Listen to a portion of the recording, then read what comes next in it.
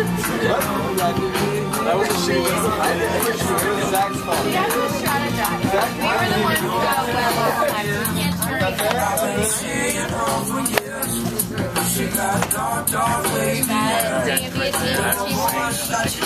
team.